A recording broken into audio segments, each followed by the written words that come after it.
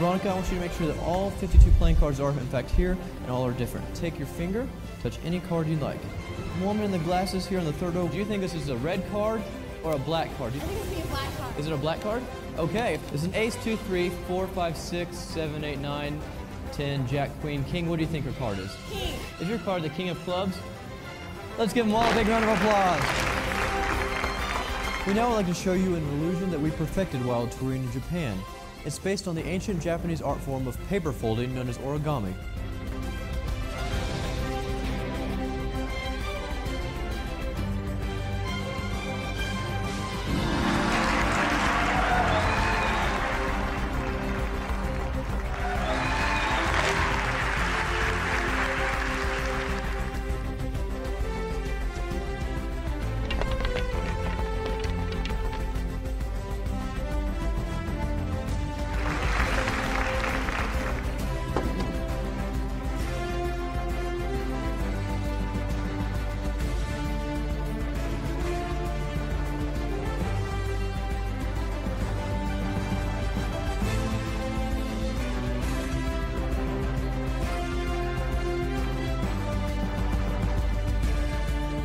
I promise, this is the cleanest illusion you will ever see.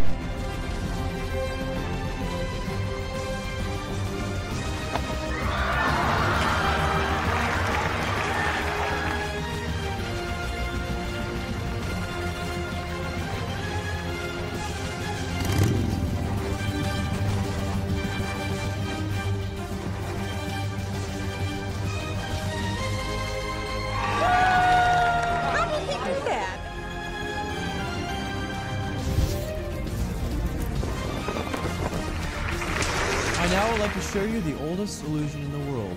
To this water, I will add dry sand. Sir, on the front row here, out of these three colors, red, blue, and yellow, which is your favorite? He said red. From this water, dry, red sand. Now, Irene, use any robotic noise you like and turn your hands inward like this. Now it's time for the magical prop.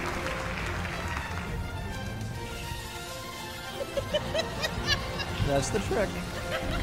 Step into my office, Michael. Stomp on the floor, make sure there are no trap doors. So the only way out will be by pure magic.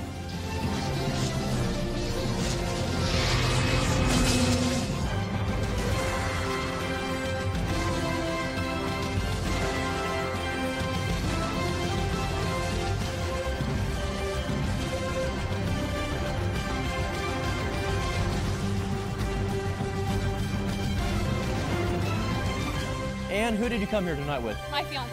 Your fiance. Okay, what's your fiance's name? Ryan. Ryan.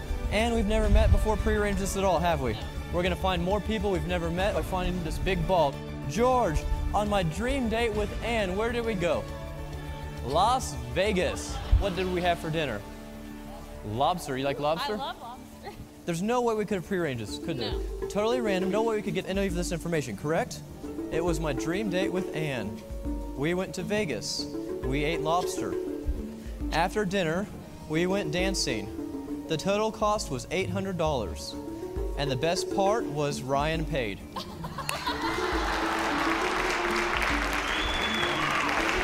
round of applause for Anne.